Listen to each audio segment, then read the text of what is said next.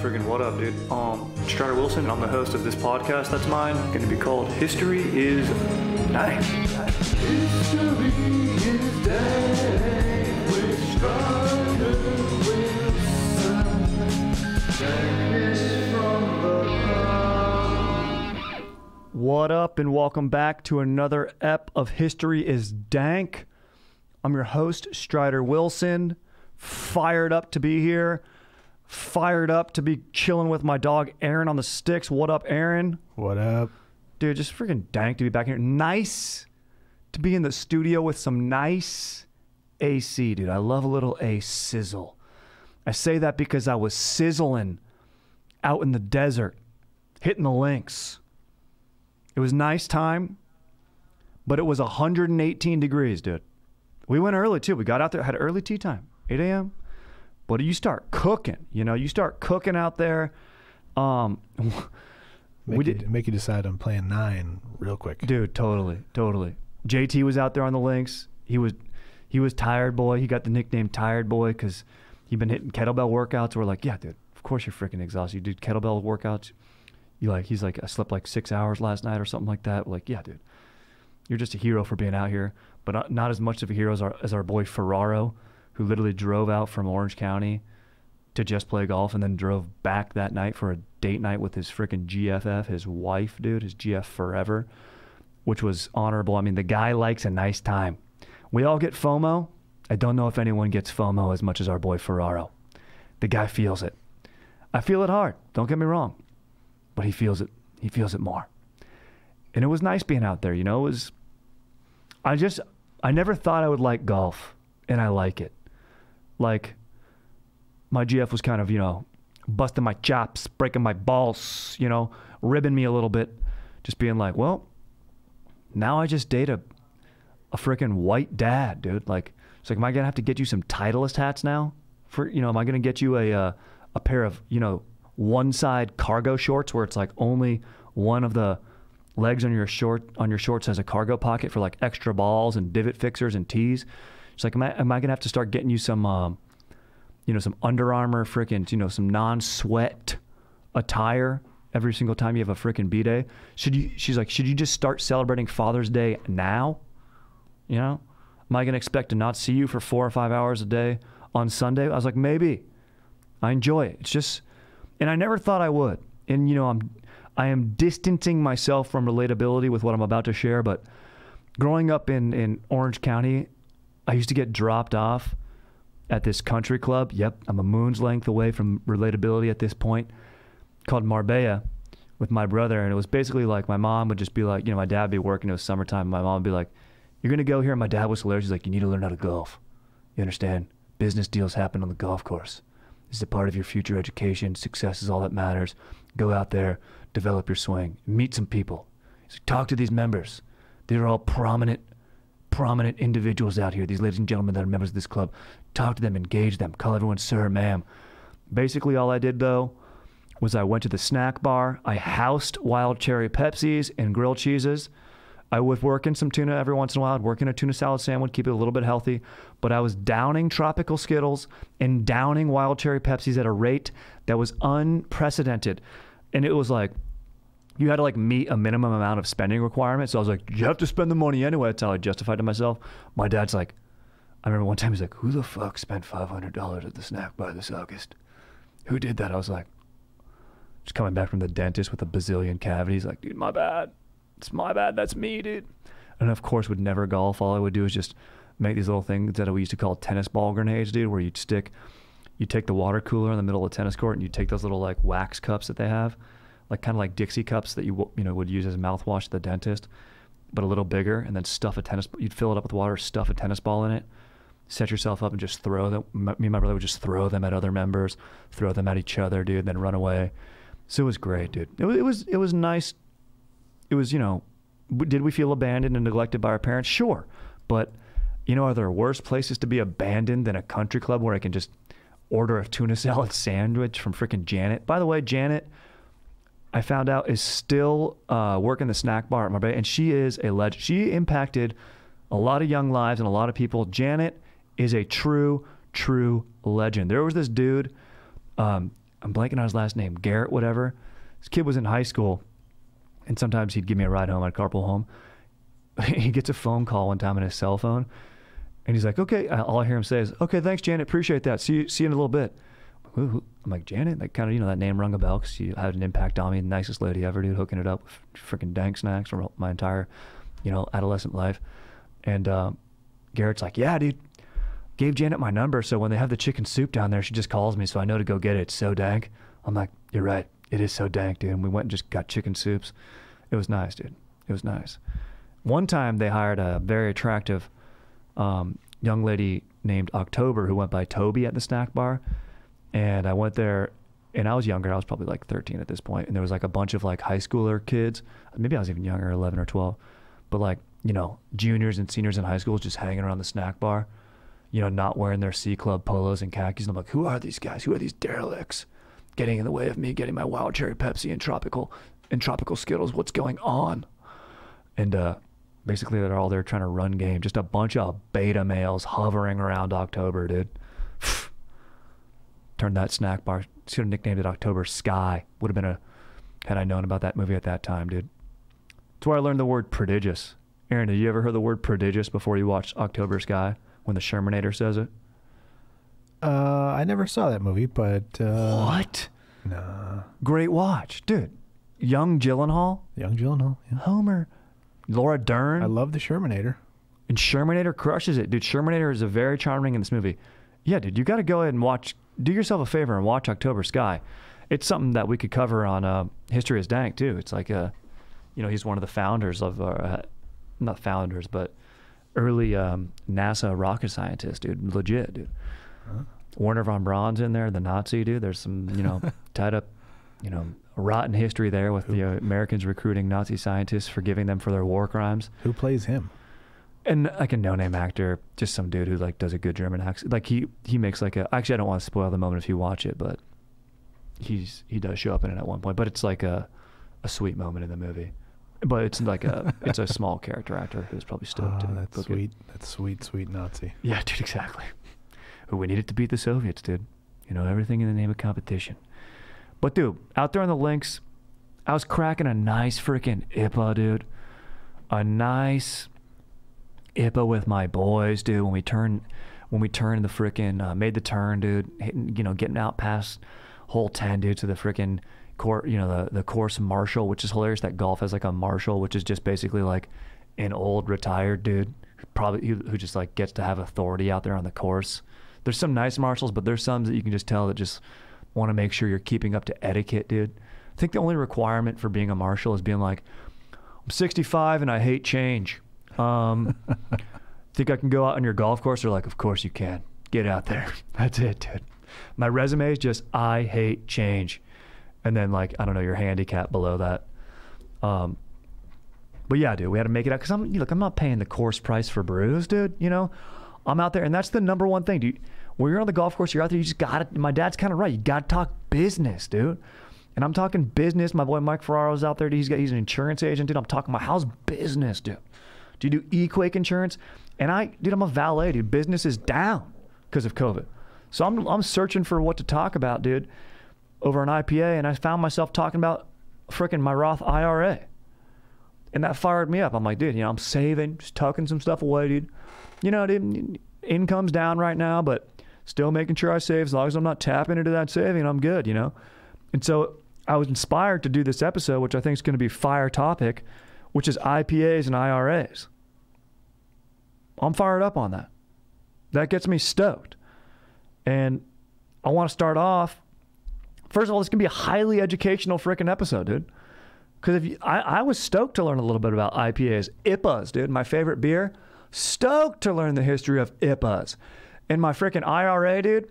You know, I, I work for a small mom pop, you know, uh, ballet company. Do they don't do 401ks, dude. You know what I mean?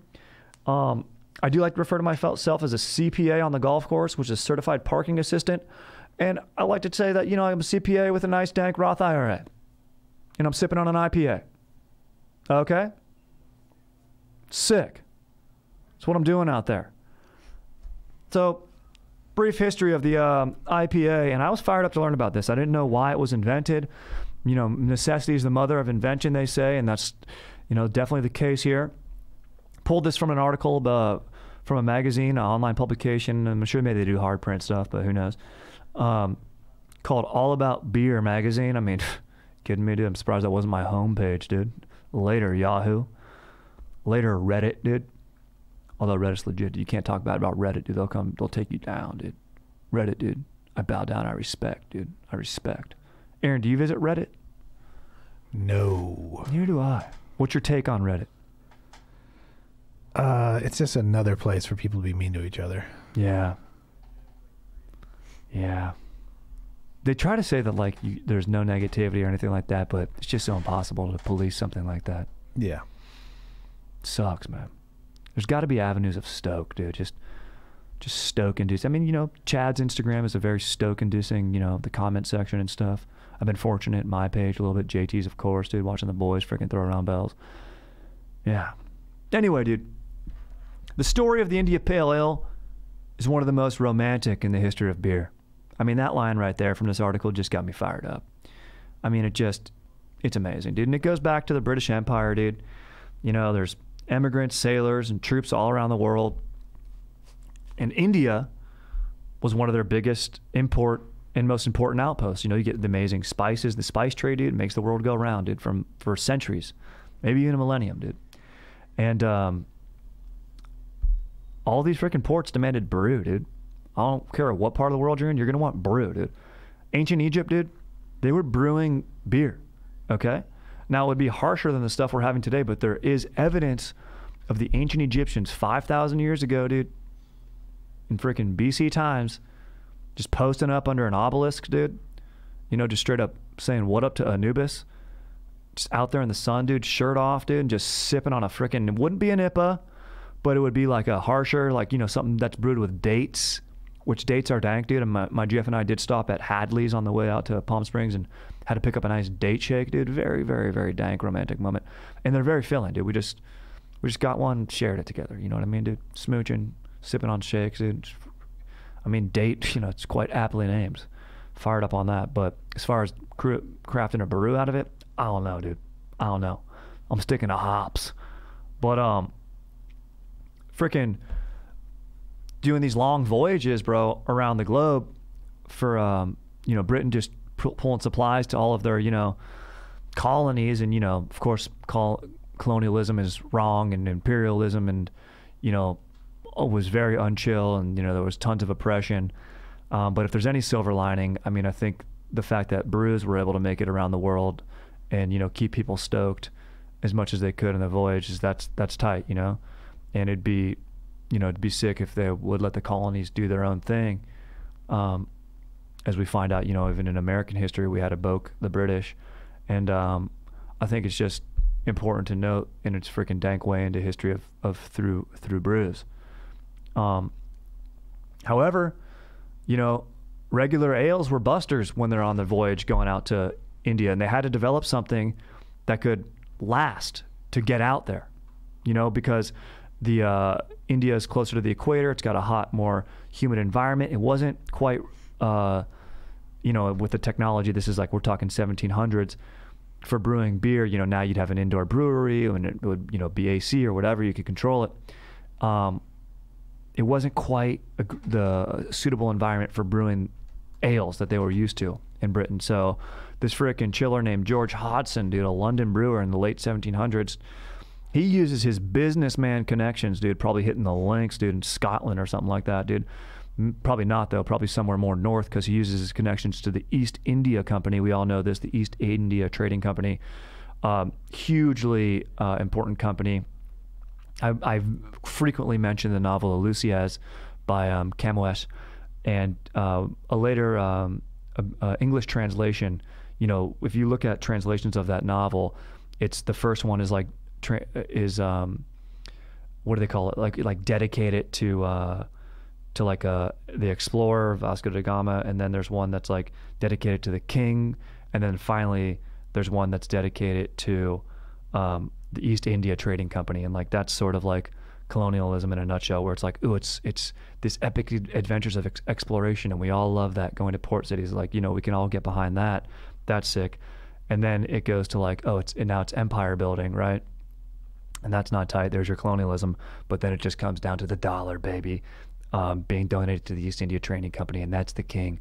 The dollar rules all.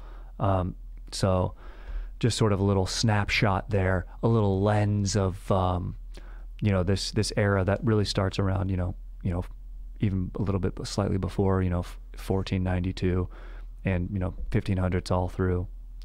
You know, even today, and now we're going out to freaking space, dude. If you watch October Sky, so it's the final frontier, dude. Freaking get fired up on space sometimes, dude. You know, honestly, one of my favorite IPAs is Elysian Space Dust, so maybe that's how it got its name.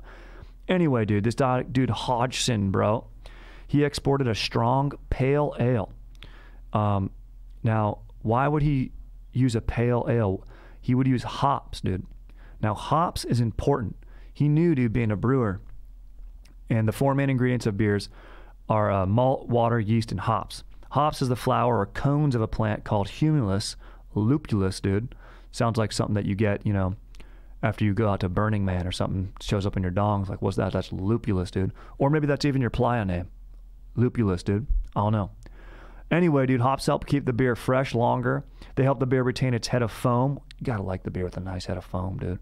Gets on your nose, dude. Never had a milk mustache, dude. I want a freaking IPA stash, dude and a key component of a beer's aroma and flavor. And of course, add a hoppy aroma, flavor, and bitterness. So it, it really plays into keeping it fresher longer, right? So this guy's like, I'm gonna. He just he doesn't know that he's making an IPA. He just goes, I'm putting hops in because I know it's going to be able to keep the beer fresher longer for the long voyage to make it from London down to um, the port in India. So turns out these sailors in the and the freaking other merchants on the other end and the receiving end in India sip on this brew and they go, This is dank. They sip it and they go, This beer is danker the longer it ages.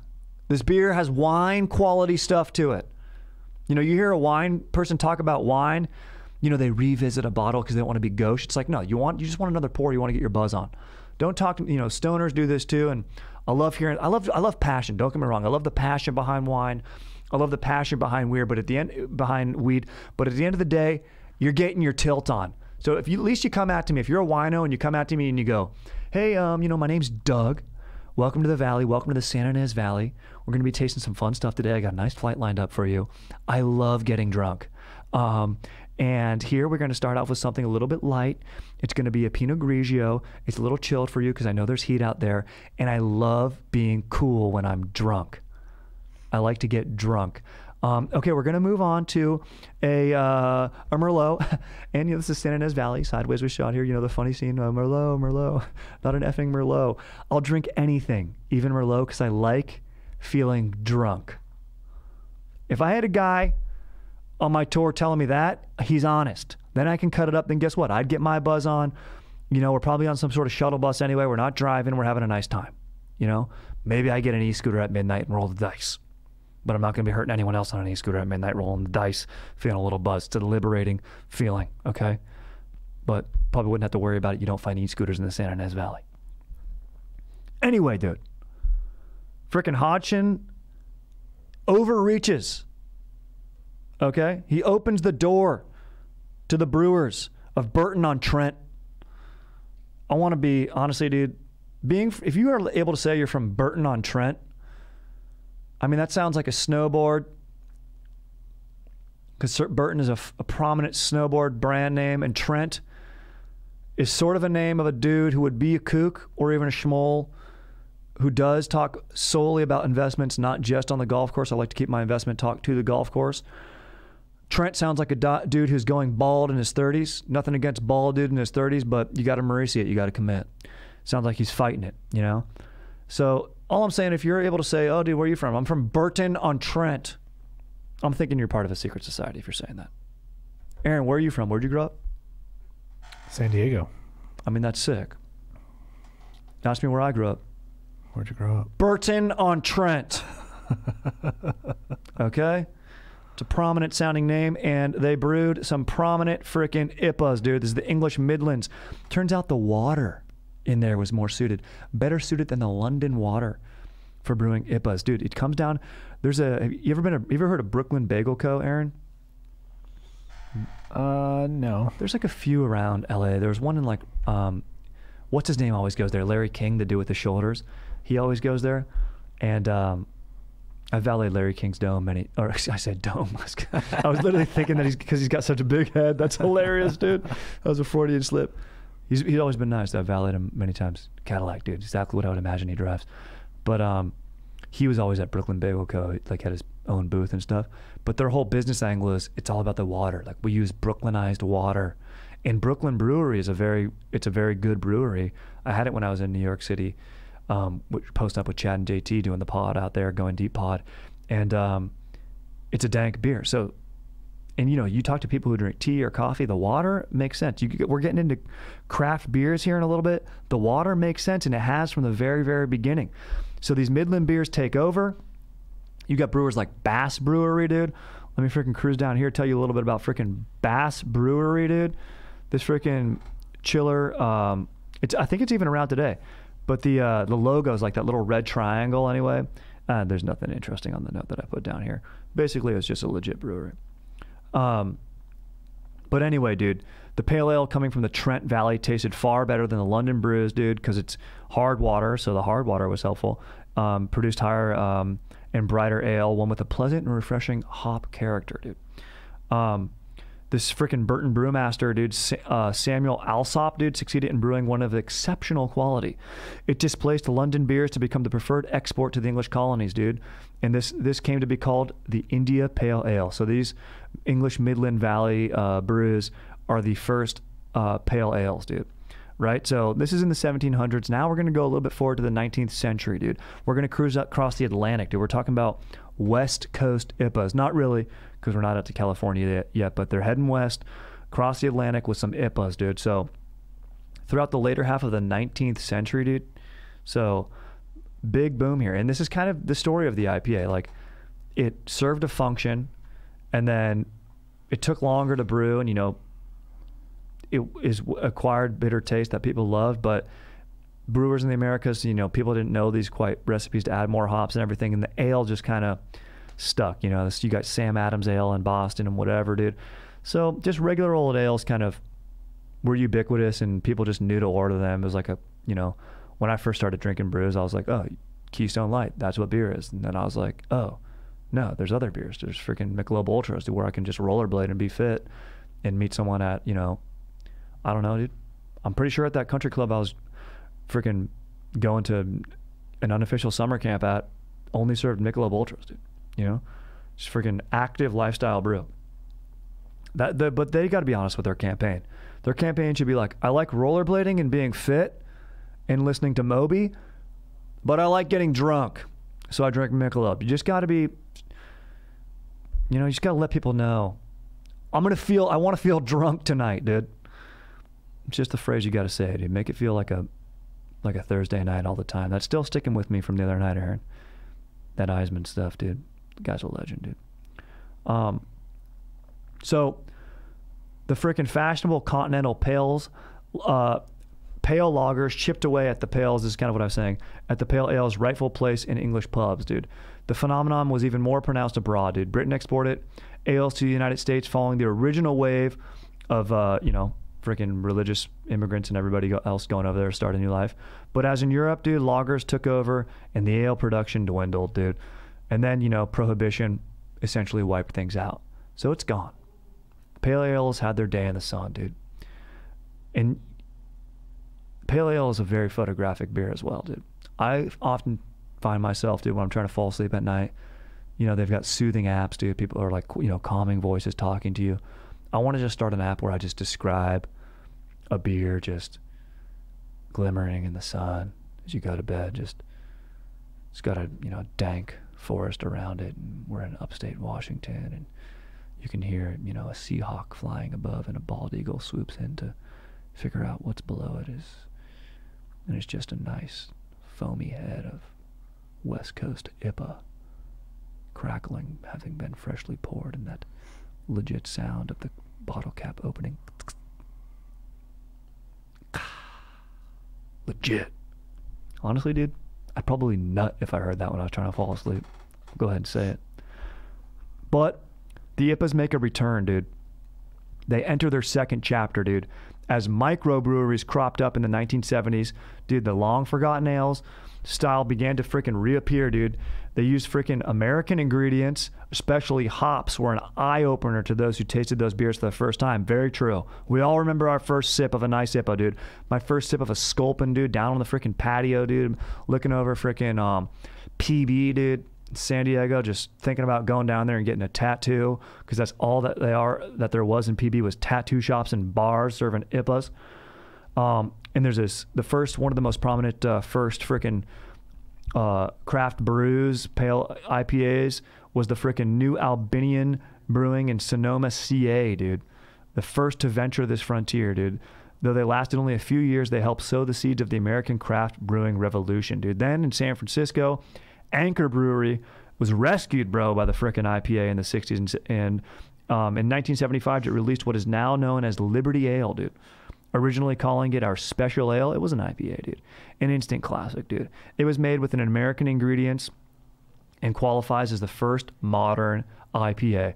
Now, you'll notice that this guy distinguishes American ingredients. He's a British dude that wrote this uh, thing, and so he's his angle that which I've kind of edited out is about how like Britain influenced like the IPA stuff. Mm, You know they did. We kind of mentioned that in the beginning. But then over the next decade or so, dude, freaking, we all know this IPAs grow in popularity until they become the best-selling craft beer style, dude. Every brewery's got one, dude. There's freaking enthusiasm for it. It's legit, dude. Palates are acclimated to them, dude. You know, when you bite into whatever freaking gastro pub you're at, dude, you freaking bite into a brisket. I don't care if it's pulled pork or classic beef, dude. You're gonna order yourself a nice IPA to go with it, dude. And just, dude, the skills, dude, brewers get they get bigger and better and bolder, dude. The doses of hops go up, dude, and they freaking create, dude. This is all booming, dude. 50 years later, dude. You know where we're sitting today, dude. There's IPAs everywhere, dude. I always have a freaking grapefruit sculpin in my fridge, dude. You better believe that. And I'm sipping them on on the G course, dude. Uh, dude, they're making they're breaking rules, dude. That's they're artists at this point, dude, because they know the rules. In order to paint abstractly, you must know the classical rules in order to break them and create art. I can't just go throw paint at a canvas and call it a Jackson Pollock. I got to realize what's going on in the process of doing it, why I'm doing it. I can't create a ready-made Marshall Duchamp you know, toilet and turn it upside down and call it a fountain. You know, I could go, oh, everyone can do that, but it's the idea and what led him to that idea, what f- future or a former and um, past artistic movements led him to that. What ales led these freaking dank IPA brewers to brew the imperial ales, dude. They grew so powerful and so strong. There's double IPAs, dude. There's dippas. There's trippas, dude. There's all sorts of dank, hoppy IPAs floating around, dude. In the Imperial IPA, as we know it now, dude, generally refers to a double IPA, dude. And um, the usage comes from this is a fun fact, dude. The Russian Imperial Stout, a style of strong stout originally brewed in England for the Russian Imperial Court in the late 1700s. So, you know, diving back in time, the craft breweries still tapping into that history, dude. And what's so dank is so many of these recipes I mean, I would love to try one that was, you know, it's basically the same stuff. You go to those classic breweries that people were drinking thousands of years ago. Not thousands of years, hundreds of years ago in the 1700s. But I mean, I guess you could go get yourself one of those harsher Egyptian brews and try it and drink what the ancient Egyptians were drinking. That'd be tight. So it's just kind of a nice. What's what I love about food, dance, culture, dude. You know, you're you're tapping into something that people were doing hundreds of years ago and experiencing many of the same things, which is which is very tight, dude. Which is tight you know, never mind going to a Ruby's, a 50 style diner, dude. I want to go to like a freaking, open up a business that's just a boat that serves IPAs, dude. And you're just cruising around, dude, and just hanging out, dude. It's a pirate lifestyle experience on a boat for a little bit. You know, you don't murk anybody or stab anyone, but maybe you you can probably paintball on there. That'd be sick. Maybe it's two boats lined up next to each other. You can have like a paintball battle and sip IPAs. I'd pay good, good, good money. I would I would make withdrawals from my Roth IRA in order to have that experience. That's all I'm saying, dude. That's all I'm saying. So I just love the independent nature, dude, of, of freaking, you know, brewing brewing these freaking legit IPAs, dude, you know, and just these guys are being artistic with it now and I can't wait to see what comes next for the future, dude. So I mean, it's beautiful, dude. It's a beautiful, beautiful brew. I'll love it forever, dude. But you can't have too many, dude, because it will be a little harsh on your tum tum, dude. You know, I wish I was sipping one right now, but Aaron and I, and I are recording in the middle of the day, and I got to drive later. And that's the thing. Those eight, those percenters, they they get up there, dude. So now let's talk about, dude. And I just mentioned I would pull out of my Roth IRA for a dank experience like that, dude. Um, let's talk about the IPA because so many times I find these things coming in conjunction with one another in my personal life and especially on the links is when I'm out there and I'm making the turn and I you know I'm getting outside of the view of the you know veteran not veteran but you know freaking senior uh course marshal dude who's just looking around keeping his eagle eyes on me just trying to make sure I'm following the rules you know telling me to tuck in my shirt and keep my voice down or something like that and not to text come on dude I got text my GF on the G course let her know that I just got a birdie even though I never sent that text I didn't get a birdie but I'm like, chill, dude. And you know, it's it's in the name of business too. I get it. They want to sell their own brews, but you better believe I'm sneaking brews on with my boys, dude. You know, there's something more than water in in the bottom of that cooler, baby. So, I first of all love talking about, uh, perhaps more than talking about IPAs, which I absolutely love. Um, I love talking about business, and when I talk business I like to be curt. I like staccato, brief speech, and I like to let people know that I make decisions. Okay. When I when I'm purchasing a credenza on dank on a Craigslist, when I'm getting a dank credenza, I like to let people know: is that mid-century wood? What type of marble is that? Oh, it looks like a Crema Marfil marble to me. It looks like a French origin. Is that a floor marble or is that a surface marble? Let me know. Okay. When I talk business, that's how I do it. And I honestly, I get panicked. I get nervous because I'm only a valet, a CPA. I lie. I call myself a CPA. Then when they ask me a question, I have to say it's certified parking assistant. But I will lie. I'll make stuff up, you know, because I want to belittle whoever I'm playing against if we get matched up by someone. Because I'm in my business mode. Okay, I want to belittle adult men with my superior investment strategies. I like to talk about nanotech. Okay, I like to talk about fringe markets, dude someone hits the ball on the fringe, they're not dancing. I go, ooh, this guy's spending his time in fringe markets, must have an aggressive, aggressive investment profile. Okay? Stuff I don't know about, dude. If anybody asks me a follow up question, I will fall flat on my face, but that's why I just keep doubling down, dude. I make stuff up, dude. Talk about the G20 summit. Don't know what that is. Don't care about Switzerland. Have no, I, I shouldn't say I don't care. I just don't know what's going on there, dude. And never mind Delos, dude. I'm talking about the 420 summit, dude. Okay? I'll make it up. Oh, yeah, you never heard of the 420 summit? Yeah, it's at Del Taco, dude, instead of Delos. And everyone's talking about, of course, future hook, past hookups and buster dads. But we're definitely talking about maybe sound or unsound business ideas while we're boxing our car, freaking crushing burgers, fries, and tacos at the same time. And that's the beauty of Del Taco. And guess what? That's the beauty of a business multiple freaking specialities, dude. I will invent words like specialities instead of saying specialties. When I'm in the 420 summit with my dogs, Chad and JT, and I don't even smoke, I don't even blaze. But I'm going to get a little contact high in there. You know? It's just going to happen. Have to ask the driver, be responsible about it. Hey, ask the driver to step outside, who's just the schmoll. Kevin, be like, Kevin, dude, schmoll. When you just step outside for a little bit? We're talking business in here. And then when we need some lawyer advice from you, even though you're just an injury attorney, you can come back in here and let us know if you can draft up papers for it, you know?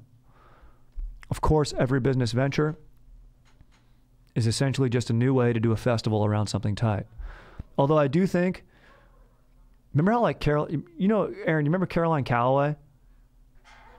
I don't know that name. Ah, she like, I don't know, she's like an influencer and then kind of, not exactly sure on the history of what she did, but I know that she like invented like a um, sort of Elizabeth Holmes style like hoax, but like accidental hoax, like bit off more than she could chew, like uh, wellness weekend for people that just ended up being a disaster. It was like we're gonna do the type of yoga I like doing, we're gonna like you know talk about ideas and support each other, and on paper it's like oh this is great, and you know she's does have a lot of followers and people did buy tickets to it, but it's just kind of there wasn't the um, organizational and you know production value behind it. But I'm like dude, if I'm at the 420 summit with my dogs, I'm like, dude, me, Chad, JT, we do a nice freaking stoke, freaking stokeness, aka wellness weekend, dude. We just go out and basically have a batch party with a with a dank squad. That'd be tight. Now you can't force friendship, so it'd be tough to do. but the activities would be there, you know? And, you know, you got to do some axe throwing. You got to play some pong. You got to play some baseball. You got to, you know, maybe host a fantasy draft. If there's guys who are looking for fantasy leagues, maybe that's what this weekend is. You go out there, you, and by the end of it, you find dudes who you're going to be in a league with. It'd be sick. I'm thinking business because I'm thinking IRAs. Now let's get through this IRA stuff. History of the IRA. In 1971, an Army veteran from Delaware named William Victor Roth, dude, Roth IRA, dude, began his near 30 year tenure in the U.S. Senate, dude. And now he sought to build, you know, his brief stint in the freaking House of Reps, dude. They moved over to the Senate, more prominent dude, aka the Millionaires Club, dude. Um, he wanted to create, you know, a tax benefit, dude, for uh, American citizens, dude. And as part of the Taxpayer Relief Act of 1997, dude, so this is a recent development, dude, this is Roth IRA. A new retirement savings vehicle was implemented in accordance with the senator's vision. And then over 20 years later, the Roth IRA continues to provide investors with unparalleled retirement opportunities over the totality of their lives. Dude, when I'm training a young valet, bro, I'm telling them, dude. I'm telling them right away, dude, banana up, potassium up. You don't want to cramp up in the lot, dude. I'll say it and I'll say it now, like I've said it many times before. Slow in the seat, fast fasten your feet, you know, have good eye contact, good customer service, be legit. And then, dude, take some of your fat tips. Treat your GF to something nice, dude. Get yourself an IPA then tuck some away, dude. Open up a nice dank Roth IRA because you got to start saving for yourself, dude. Even if you got a 401k, if you got the means, you can put a little bit away there. You know what I mean? It's got to be. It, it, fires me up to save. I treat it like I treat it like, and I love laying down parlays, dude. Freaking Roth IRAs, IPAs, and parlays. Dang it! I should have done a history of parlays. I will save that for a future app. But it's like, dude, you just got to freaking save a little bit. It's gonna get you stoked. It's gonna get you stoked if you do that a little bit. You're like, dude you know, it's it's it's just be able to tell yourself you're feeling a little bit blue. You get look at you look at your Roth IRA and you go, well, at least I got that going for me. That's nice. Might have just got might have just got freaking cleaned out on the G course right now, dude. You know, playing bingo bango bongo with the boys and or you know lone wolf or something like that or best ball or something, dude, and freaking lost you know third however many bucks you're playing, maybe just lost 18 bones. But then you freaking go, you guys still got my Roth IRA, still got that cooking for me. That's nice.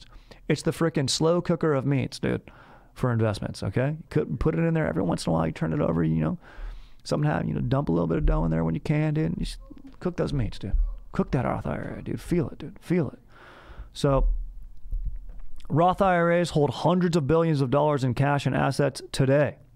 So it's a current history we're talking here, dude. That figure will assuredly climb as investors continue to adopt the unique advantages provided by Senator Roth's signature brainchild, dude. These accounts, and here's the benefit of them, they don't allow for tax deductible contributions that are way tra- that are tr- traditional IRAs do. So there's a Roth and a traditional. We'll get into some distinctions. But the distribu- distributions from a Roth IRA may not be taxable if certain conditions are met, dude. The plan holder must be 59 and a half years old. But I'm saving until I'm 69 and a half, dude. What up, fire age, dude? I'm gonna pull out. I'm gonna pull out my IRA at 4:20 p.m. on 4:20 April when I'm 69 and a half years old. Crush some Del Taco and then just freaking go treat me and my GF, who would be my GFF at that point, to something dank. So the plan is for a minimum of five years. So just no, you're going to tuck that dough away for at least five years. I mean, you, hopefully you're tucking it away till you're 69 and a half, dude. 59 and a half technically. Um, so you could be disqualified from tax exemption, heads up. So the Roth IRA contributions may be distributed tax-free anytime since they bear no tax-deferred benefit in the first place, dude.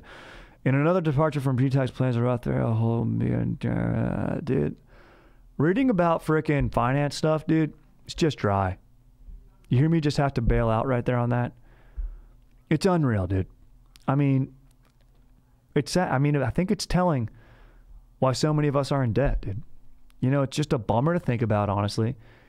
And it's like having to stage a financial like intervention for yourself when you get real about it, but you just got to get real about it. First eliminate your debt, then start saving when you can. And you got to wait, I don't know, dude it's just tough to find a way to make it accessible, Aaron. I mean, maybe, all right, I'm going to try to hammer through this next paragraph here. And maybe every once in a while I'll just have to talk about a dong or something like that. And just, or part of my French, like, you know, nah. And you maybe just keep it to dongs. I mean, who doesn't like hearing about dongs?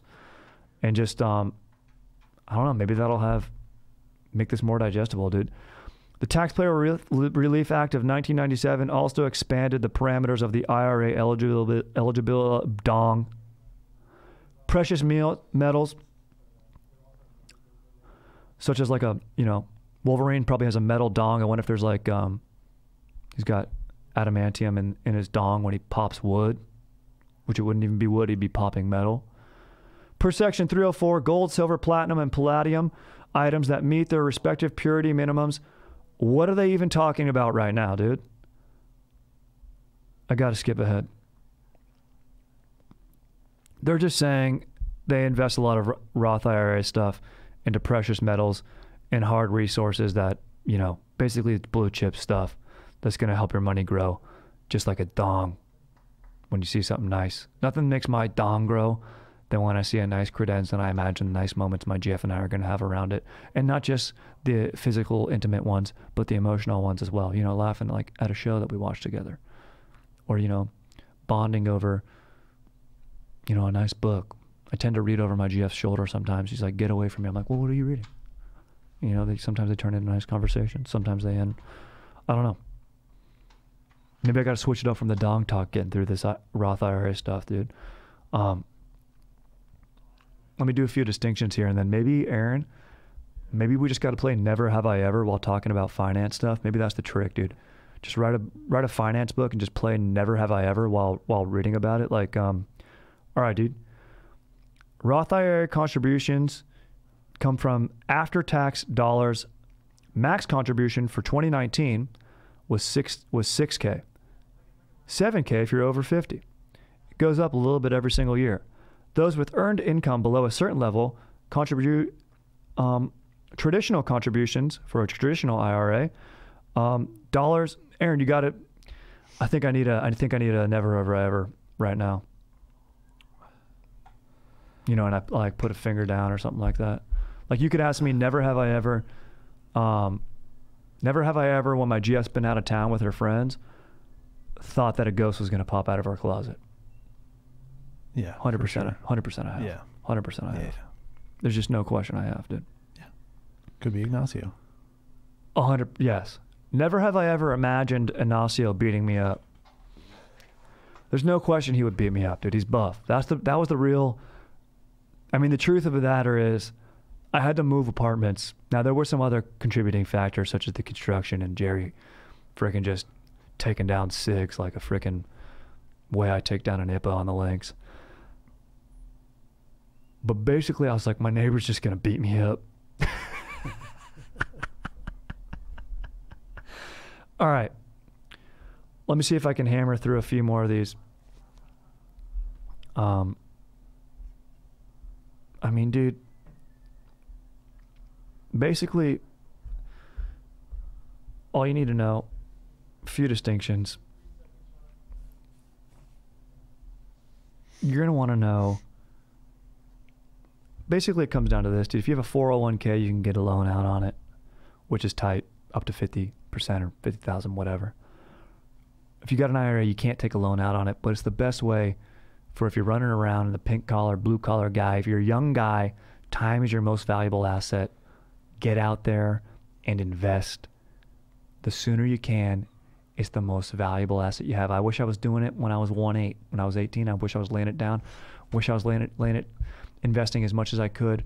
You know, when um, I first started valeting, but you know, I came into it later, and that's fine. That's fine. You know. Aaron, do you just want to hit me with a quick "Never have I ever" just because it's gonna be so fun? It's so hard to think of them. It really is. I feel like you have to be flirting a little bit while you're doing it. You gotta be like, it's gotta be like a flirtatious energy, you know, not like reading finance energy. So maybe it's not the best flat mashup. Yeah. But maybe if you say financial stuff in a flirtatious manner, like if I were to tell you the dis- the difference in forced distributions between 401ks and a traditional Roth IRA, as well as a as a traditional IRA and a, as well as a Roth IRA, in a flirty way, it might sound more fun. Like if I was like, like with 401ks, like you must start withdrawing funds at age 72, like unless you know employee is still employed with employers setting up the 401k and not at like I don't know five percent owner or whatever, and the penalty is 50 percent or minimum distribution. Like that's for a 401k. Like what are you doing? No. And like I guess the weird part is that like for a traditional Roth IRA, like you must start withdrawing funds at age 72. Like, yeah, 59 and a half your, should be your benchmark. Or for me, 69 and a half. what? 69? Um, but the penalty is 50% of minimum distribution. And um, for a Roth IRA, it's, it's just none. So I don't know. You hang up first. Was that more interesting way to hear Yeah, about finance? yeah, I think so. Yeah. like you know i guess you have to make stuff you know if, when in doubt you know they say sex sells. I think horniness is what they mean sells. Nobody really wants to talk about you know a lot of us with sex myself included having a small dong is is tough you know? But i've developed other traits such as the dart and the t dart as i like to call it. Um, and you know it's maybe tap into parts of myself and better myself in other ways however horniness is something that drives economy and people need to get horny about saving you know savings and investments investments just a form of savings but how do you get horny about that well it's tough. It's kind of antithetical. a hundred percent. Because horniness is all about, ooh, I need it right now. But guess what?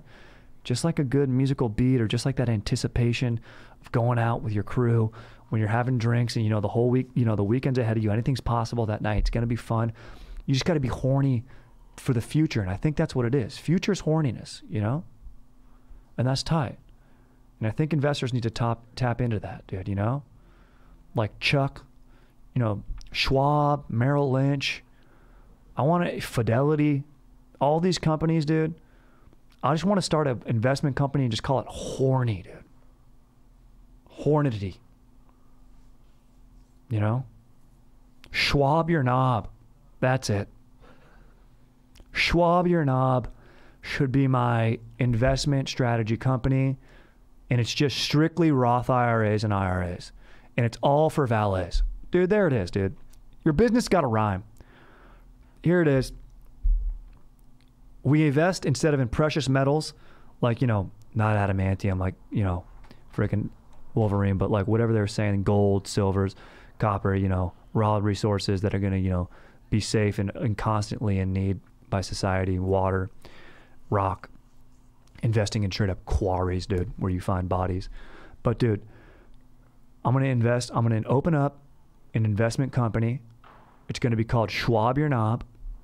Okay. This is what I'm going to talk about on the golf course because you got to have vision, dude. You know, when I'm trying to belittle somebody, dude, who is, I know, pulls in more jing than I do per year, even though that's why golf is a thing because you can still beat that guy in the course of the game. And that's what it comes down to. It's about you know taking out that guy next to you. Yeah, sure. The, the great, the real enemy is myself and the natural environment. False. I'm like Seabiscuit on the course. I got. If I could wear a suit and golf in it, I would, dude. So when I want to take out that guy, I'm gonna go. Oh yeah, okay, interesting. Do you pull this much or no? You, oh, you're upgrading from a Range Rover to a Jaguar. Nice, nice. Yeah, I love British vehicles. Get it in British racing green. It's a great color, great color. Yeah, yeah. So what am I gonna do? Yeah, I'm opening a new company. Yeah, sorry about that. Sorry about that. I'm opening a company and it's called Schwab Your Knob Investments.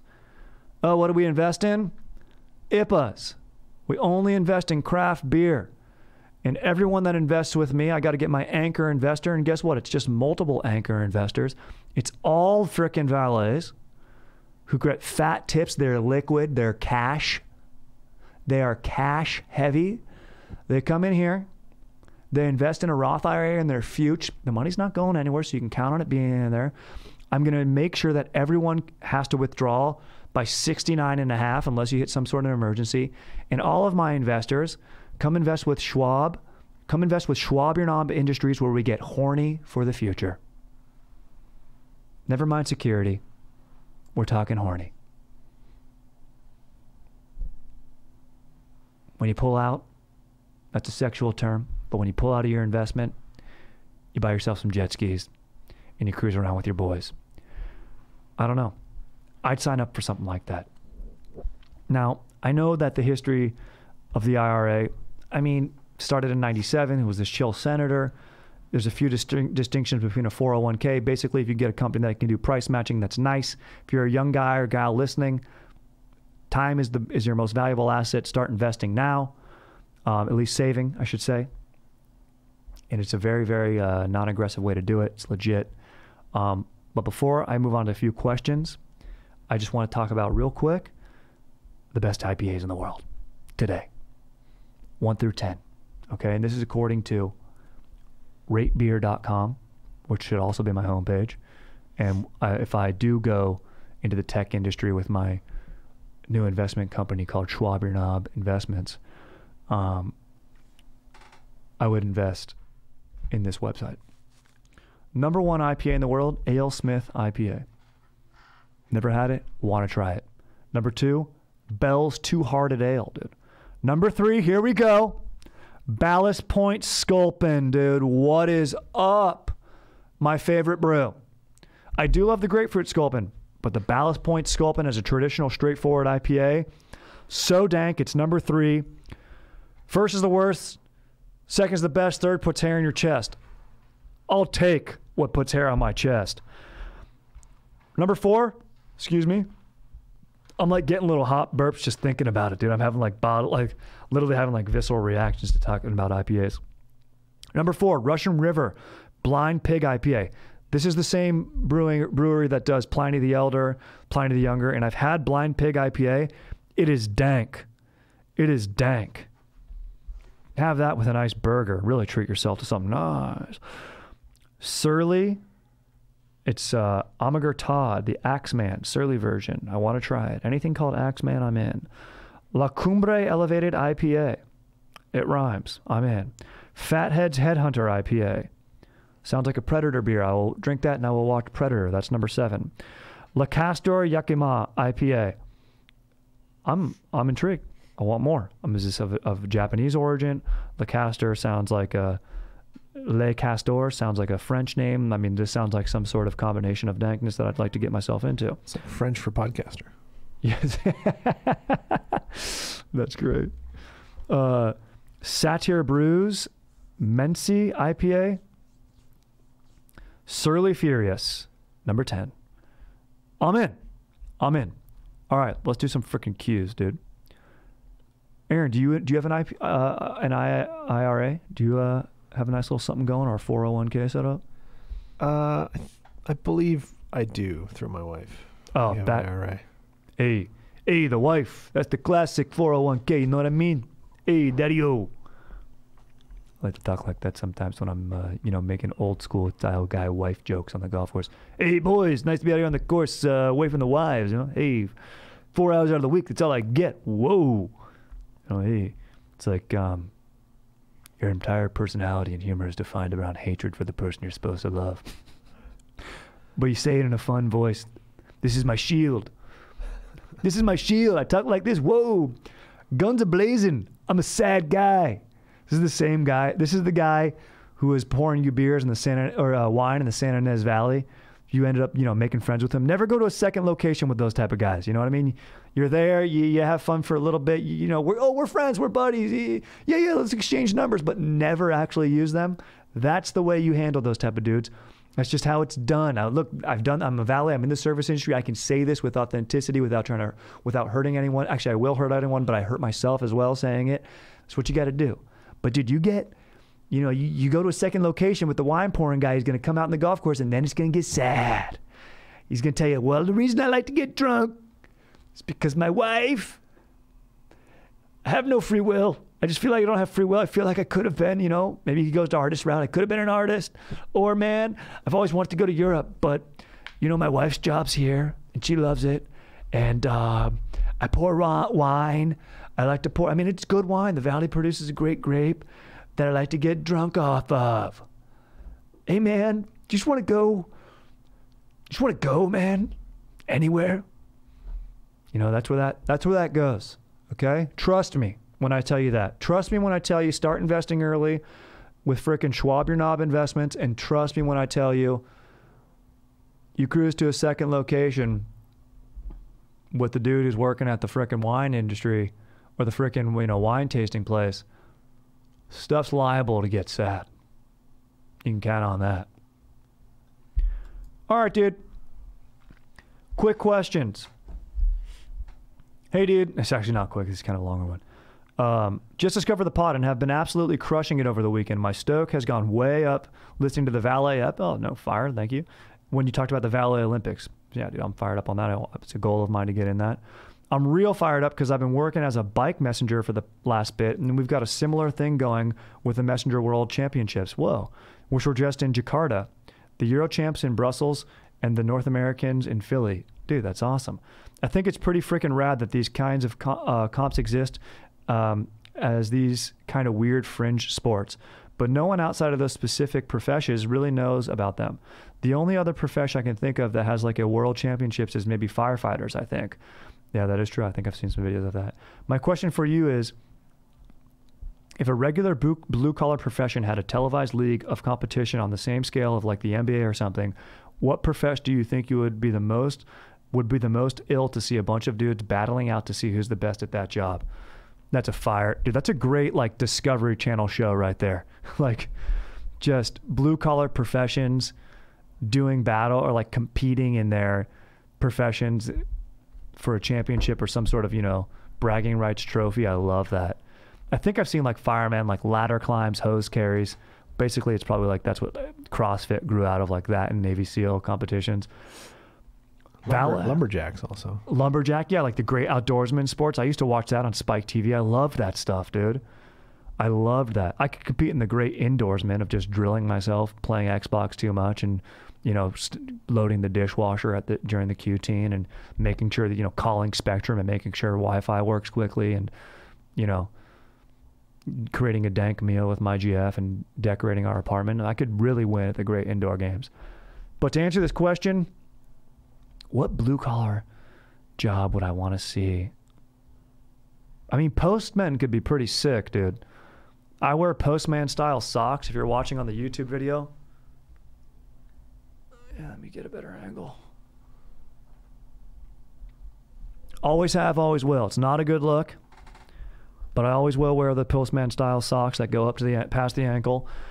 But um, I think it'd be sick, dude. They drive a truck. Their trucks, their driver seats on the other side. They could like, you know, do like that like weird Winter Olympic sport where like the skiers like walk and then shoot at something, you know, on skis, but just do it in their car and then like throw freaking envelopes out and try to make them into mailboxes.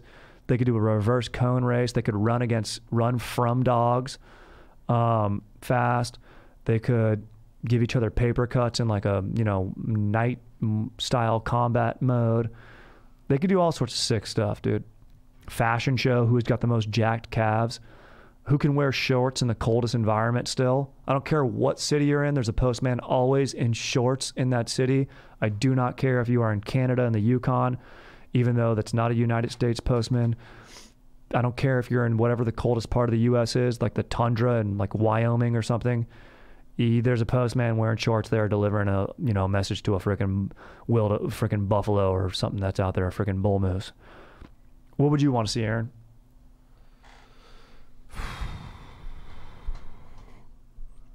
I mean, I do really want to see a moose. I would love to see a moose. I'd love to see a moose. No, but I mean compete. Like, uh, what blue collar industry would you like to compete? Oh wow, I completely missed that question. No, that was my bad. Because I was talking moose. And dude, this is this is the second time we've said on this pod that we do want to see moose. I would love to see a, a real moose. And dude, they're like they're like six foot at the shoulder, aren't they? Yeah, or seven. Yeah, it's crazy. And I think Teddy Roosevelt named his political party the Bull Moose Party because it's like such a badass animal. Yeah. Uh, what kind of a sport Mm-hmm. competition from a profession? Yeah, like you know, what's that Joseph Gordon-Levitt movie where he's like the fixie bike rider in New York? Like this dude that rode in, his name's um, oh, he's Brett from Canada, legit.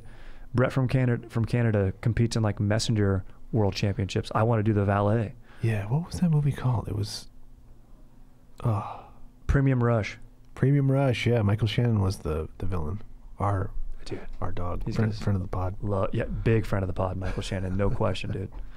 Michael Shannon can just come on here and have a staring contest with me. That should be like a just a show that Quibi should have done before it failed, or like Funny or Die should have done of like just Michael Shannon has a staring contest with someone, and that's the whole show. Well, I was trying to think of this this show I used to watch, uh, and I found it just now on IMDb. It was hosted by the veteran old guy from the first season of Survivor.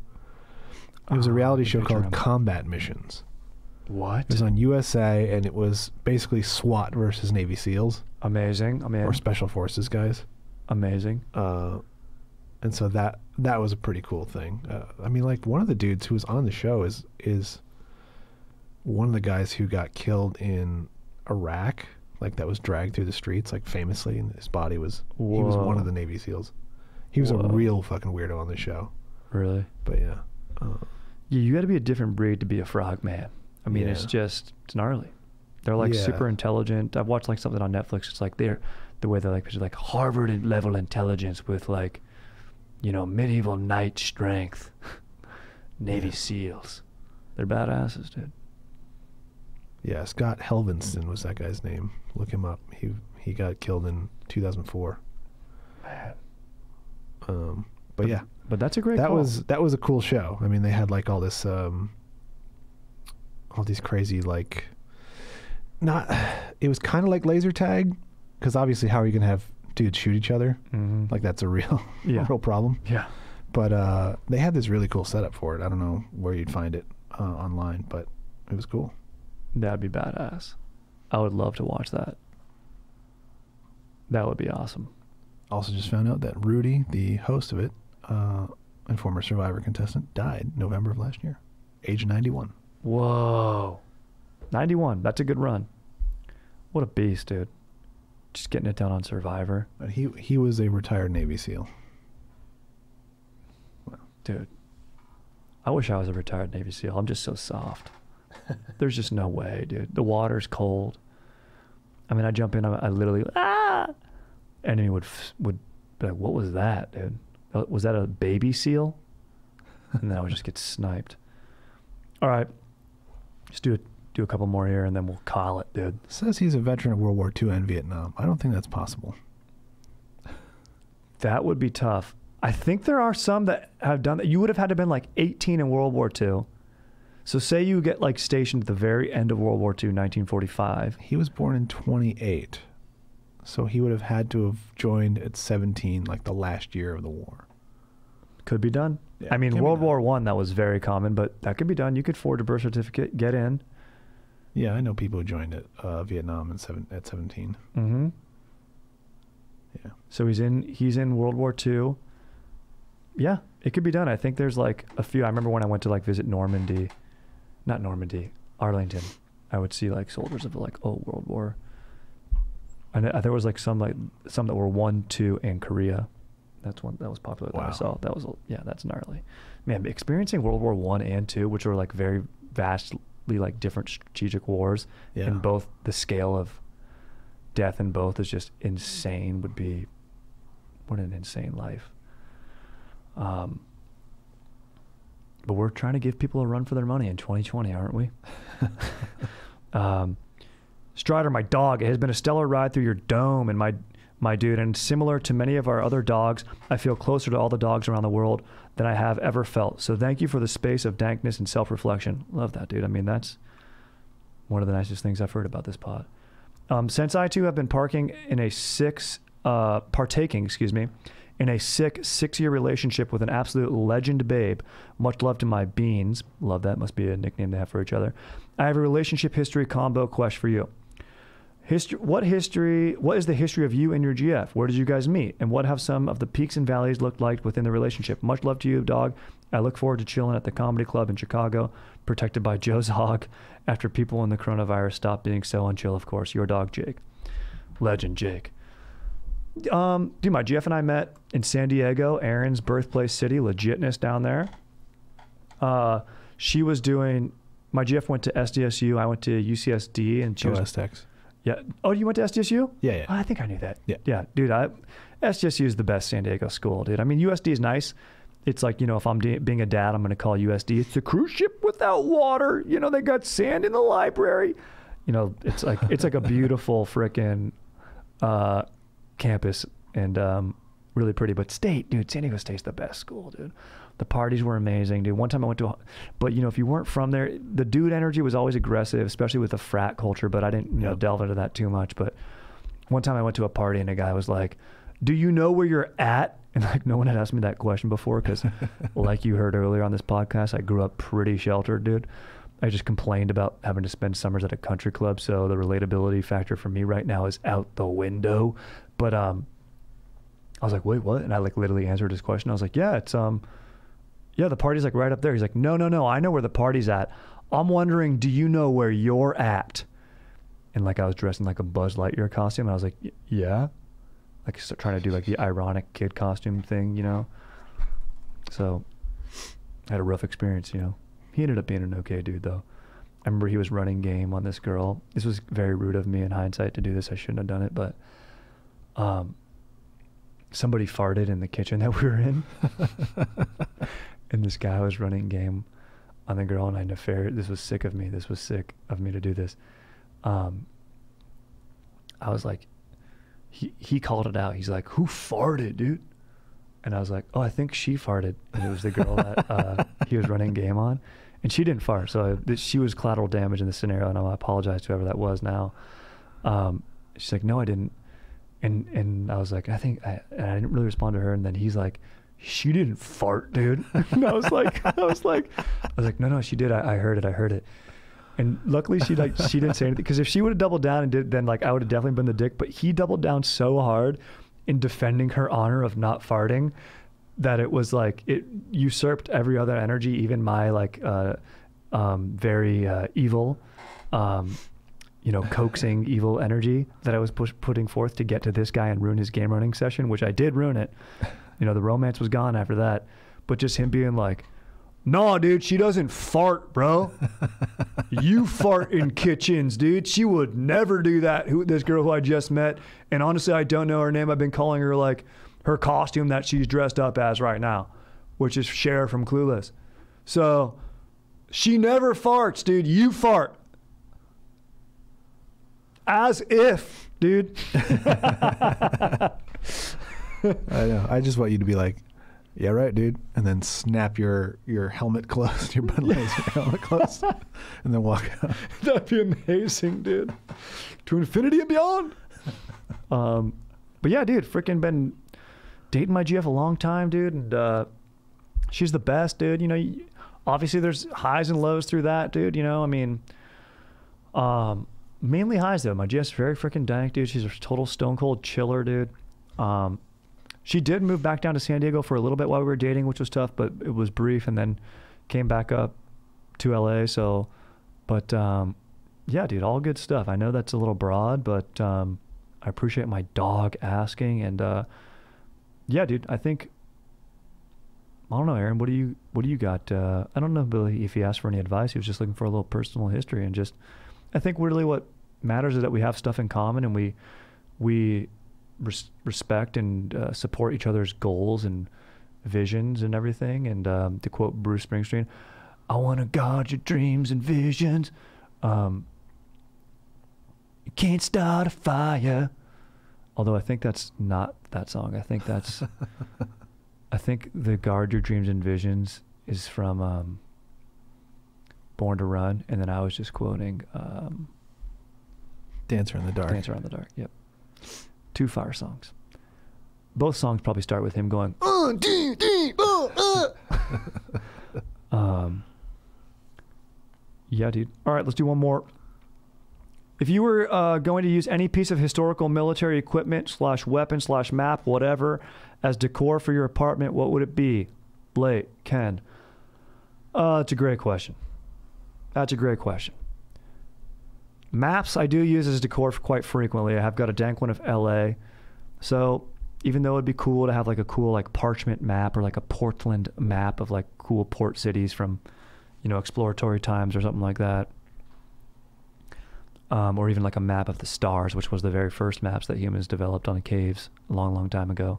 It was maps of the stars. That's, that's you know how people would navigate by ship, but even by land. Um, so fun fact: the first maps weren't of Earth; they were of stars, dude. And perhaps the first map was man putting his handprint, and saying, "I've been here," uh, up I the mean, wall. isn't it so true? It's it's hard to see where you are. You know. Mm, A hundred percent. That's why you got to just be dancing in the dark. It's hard to see where you are. Dude, Ben Stiller has the best bit. I think they did one like They did a Time Life album thing on, on SNL of just Bruce Springsteen, but just the um, like no music, and it's just like um, him. He's like talking about summer jobs. One of the tracks is like summer jobs, counting, fixing up old cars, like uh, bars I've been to, uh, fights I almost got in, you know, exes. Is just gold. It just all stuff he talks about. Um, man, I would probably use like. I mean, a samurai sword's it's been done, although it's very cool. I mean, you want to have something like a a trip you've been on or something like that. I don't know. I remember one time I was in Hawaii, and I like that there was like a little volcano man um, that I, we went to like go visit a volcano, and I remember I was like I told my brother and we grew up Catholic, and I you know my mom bought us a little souvenir volcano man, and I was like, dude, Greg, let's go home and pray to these things. it was hilarious. I was like, dude, we can pray to them. And then my dad's like, no, you don't pray to them. Like you, there's only God who you pray to. And I was like, oh, whoa. I didn't realize that. You can only, then, but it was kind of a weird, interesting lesson where I was like, can I be multi-religional, dude? You know? I don't know. I guess you can't. I guess you can't. I, maybe you can't. I don't know. It's it's tough to bring stuff home, like it's tough to bring anything authentic home. Like I, you know, I Mhm. brought like a tiki god home from my dad from Hawaii, and it was just like, yeah. As soon as I flipped that thing over, I was like, oh, made in China. A hundred percent. That's what I got. I got the same sort of tiki god thing, and a volcano rock, which is why to this day I've had no luck. No, I'm kidding. Um, I don't know, Yeah, dude. you aren't supposed to take something. you You, aren't sh- supposed to bring stuff back. you are not Hawaii. supposed to. No, no, no. I mean, I'd have maybe have to get it GF approved to go. But if I got my uh, druthers, as they say, and I can put anything I want anywhere, I might take like a William Wallace broadsword. That'd be sick. Yep, Put it above my desk area. Yep. I have I have a broadsword on my wall. You have one? Yeah, Oh, I am jealous of that. yeah, yeah. It's from Lord of the Rings. Oh, Sword Ar- of the King. Aragorn's? Yeah, yeah, yeah. Of course. Who goes by Strider, by the way. Thank you very much. Yeah. When he's a ranger. In the book, that's all they call him. That's so sick, dude. Honestly, maybe I could have been named after that because the books came out a long time ago. Yep. That's so sick. There you have it. You go broadsword. I think so. I think so. You put it on a wall, or Put it- literally you put it in a stone, and then you don't invite anyone in your apartment if they can't get it out of it because they've got no honor. But then you have a secret, uh, like the thing you step on. That's a that keeps it in place or lets it go. Yeah, yeah, yeah. Exactly. You got to have something to dupe them a little bit, dude. Yeah. Fire, dude. Aaron Legend, dude. Thank you, guys. Another uh, fire ip of ep of IPAs and freaking IRAs, dude. Roth IRAs, legit, dude. Check the episodes everywhere you get podcasts, and they're on YouTube as well. Just as a reminder, if you want to watch, dude, um, which is always kind of sick to do, dude. And uh, you know, you can just do the audio too if you don't, you know, aren't on any of the podcasting apps, but it's all over the place, dude. We're spreading it like wildfire, baby, and uh, spreading stoke with my dogs. So stay stoked, and we'll catch you next time. All right, dude, lit.